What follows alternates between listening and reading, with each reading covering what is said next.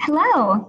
So in this video, I'm going to show you how you can take your image, your photo, and transform it to posterize it and manipulate the colors into something that's going to be a lot easier to be able to paint from, okay, and a little more vibrant. So I do have the written instructions that are available. Um, I link them in your calendar and I link them on Summit. Um, and I even have them right in front of me. Um, so you can follow along with that as well, or you can just watch the video and do it with me. So it says number one, we are going to open a new document in Adobe Photoshop.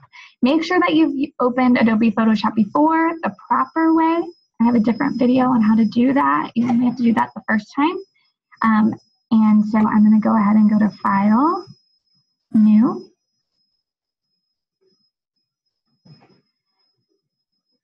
And we are going to be using the letter size, so that's 8.5 by 11, so make sure you're clicked on that. I'm going to go ahead and give it a name. So I like to call these sprinkle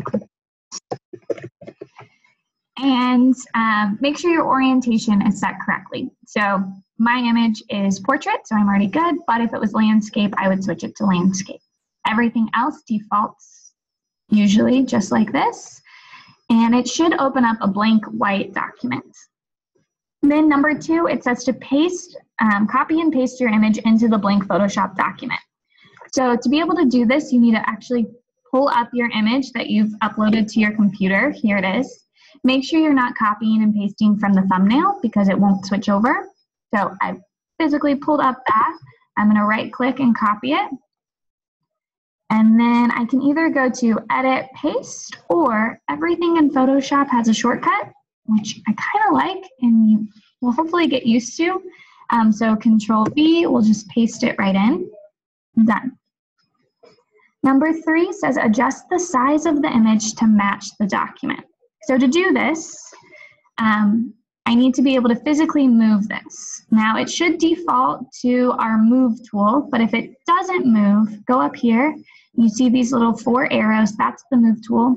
Or shortcut V, so I'm already there, and I like to place it in that upper left-hand corner. Then I need to stretch it so that it fills this entire document, because I don't just want a little version when I print it out.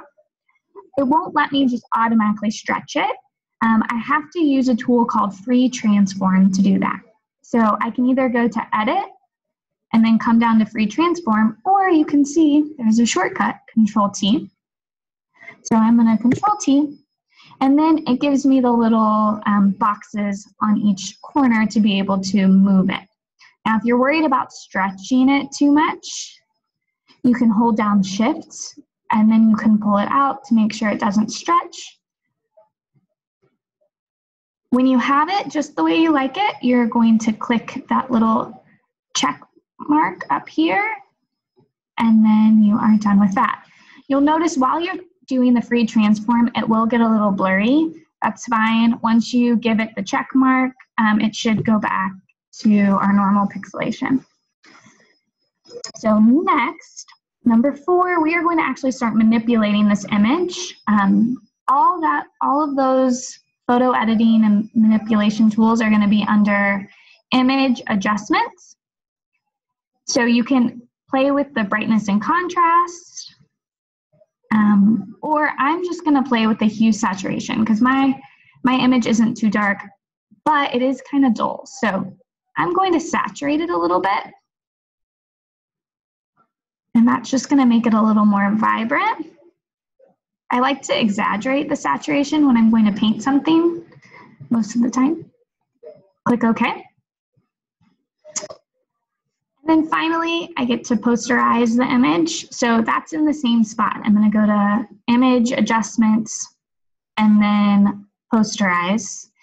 And it's going to give you this little slider and um, some levels.